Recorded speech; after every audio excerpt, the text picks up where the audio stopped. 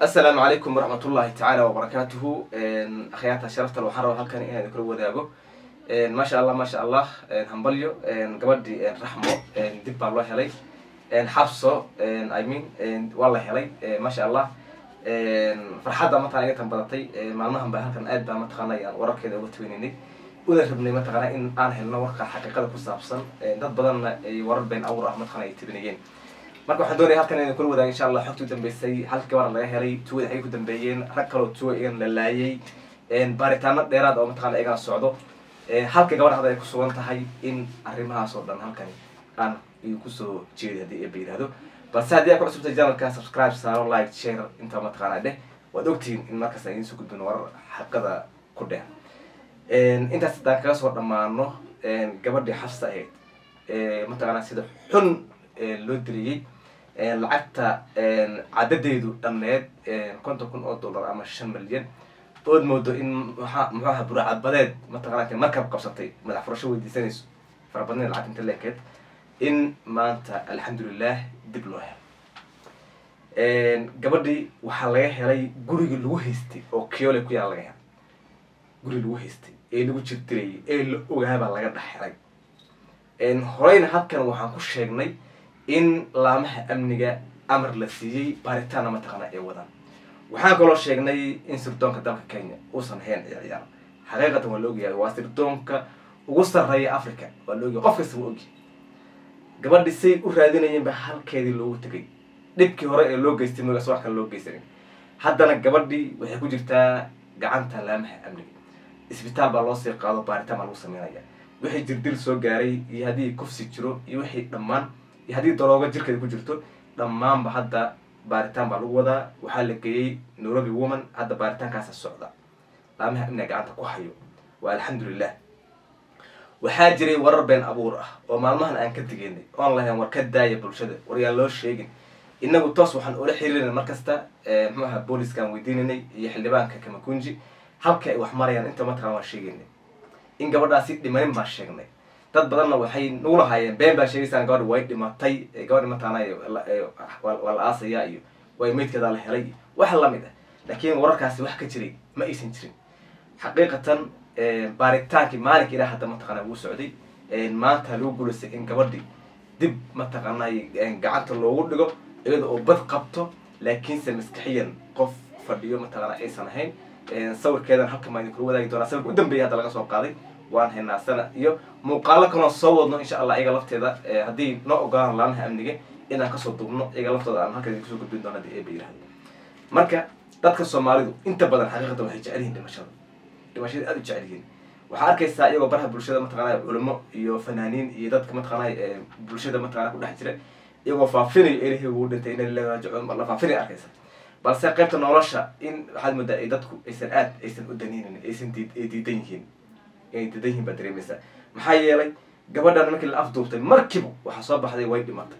Xaggee loo dili dil meesha ma yaalin waa la dilaya haa laakiin dhimasho ma ahayn.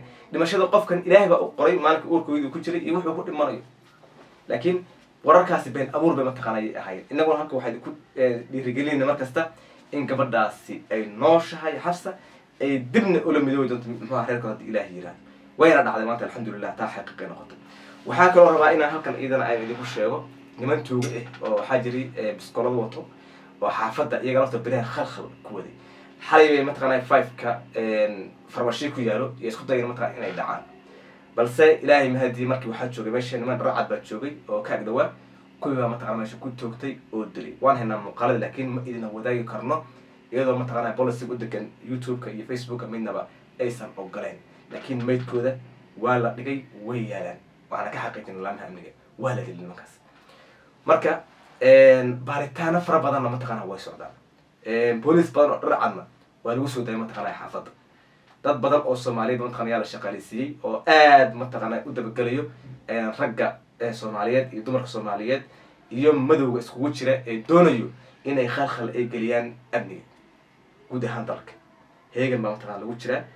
Inta badanna wararkan hadda la sheegayana ben awar bay badnaayeen wararku ben awar bay u badnaayeen. Inta warar ee jiray xaqiiqad ahaa wuu yaraa markii laga soo tago gabadhan hadda xafsa ee hadda mataqaana la helay intii kale oo dhan mid kasta malmadooba ku jiray. Wax sax ah wuu yaraa markii laga soo gabadha xalay iyadan aan ka warramaynay ee ka badbaaday ee sheegtay in iyada intii mara afka laga saaray la waxeeyey ee hooy macaan markii laga soo tago. Inta kale wax intuu tagay police station ka report gariyay ma jirin. Lama hayo. Marka taasaa kutusinaysaa marka soomaalidu in ay barabagandada iyo hadallada farada badan ee kale in ay jeceshahay bay mataqaana ay waxaynaysaa marka hadda gabadheeni waa la helay alxamdulilah hadda baaritaanka mataqaana waa socda. Caafimaadkeeda mataqana ayaa la ogaanayaa muuqaalo fara badanna waan sheegi doona waan soo gudbin doonaa. Shalay wuxuu ahaa mataqaana ehelkeedii iyo dadkii u dhawaa gabadha.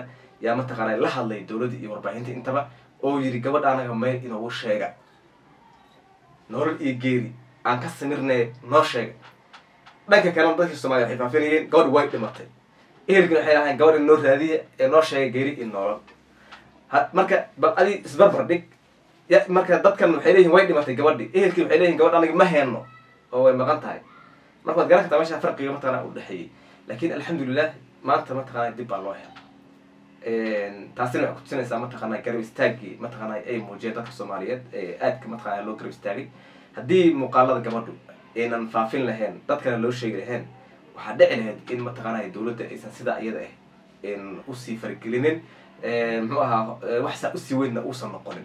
Balse wixii markii baraha bulshada dadkii lala wadaago oo la faafiyo markii waxaa suurtagelaysa marka in laamaha amniga ay arrintii ay arkaan lagu cadaadiyo in arrintaa iyada xoogga ay saaraan.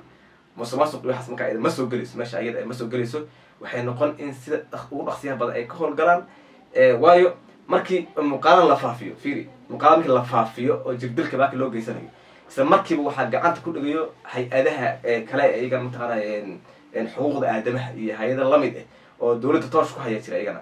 Arkayo iyo hay'adaha dumarka u doodo kulli markii wax ay arkaan dowladday cadaadis saarayaan in arrintan iyada mataqaana meel la saaro.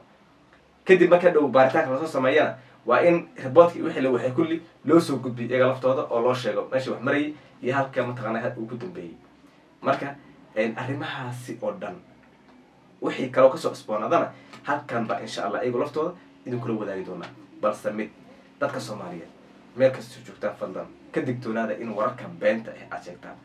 Markii weliba wararka beenta uu kala daran yahay markii xaalad noocan oo kale ah ay jirto warka aad gudbinayso wuxuu gaarayaa hooyo ka murugsan ilmaheedii wuxuu gaarayaa aaba ka murugsan ilmihiisi iyo walaala la dhashay oo habeenii maalin aan seexanin ooyayo markaad u geysa ka waran war ah way dhimatay mise wuu dhintay ka waran qofkaa marka uunan hayno qofkii mayd qofkii maydtiisana ma hayo raq iyo mayd midna kuma hayo qofkii. Adna u dhintay baad soo gudbisay. Marka waxaa qurux badan in markasta aad mataqaana wixii jira xaqiiqad ah aad raadiso dadkana aad weydiiso dhowra xagee se wax u jiraan. Markaasa xaqiiqada mataqana ayaa helaysaa intaasaan ku soo koobayaa barnaamijkan isaga daawadayaal intaan barnaamijkan midka xilkuam haddii ay baydmo saasi nabad